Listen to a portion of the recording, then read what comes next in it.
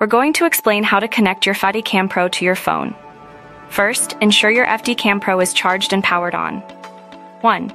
Download the FtyCamPro app from either the Google Play Store for Android or the Apple App Store for iOS.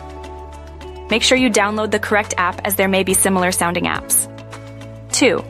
Once downloaded, install the app on your phone.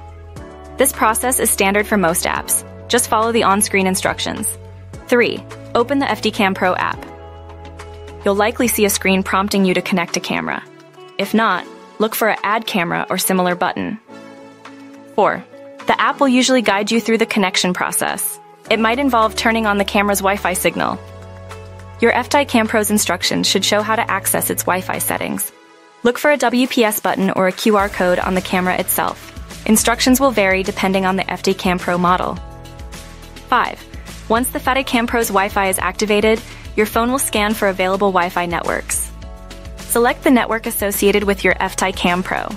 The name will usually be similar to the camera's model number. Might need to enter a password. Again, check the camera's instructions. 6. After connecting to the camera's Wi-Fi, the app will automatically connect to your camera. You should see a live feed from the camera appear on your phone screen. 7. If you encounter problems, ensure your phone's Wi-Fi is enabled and that you're within range of your FtyCamPro.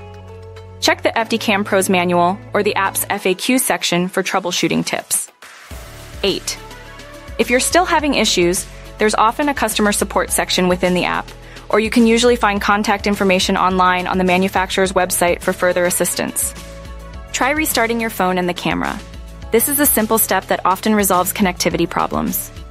Remember that the exact steps may vary slightly depending on your phone's operating system and the specific FtyCamPro model you own. Always refer to the official instructions that came with your device for the most accurate and up-to-date information.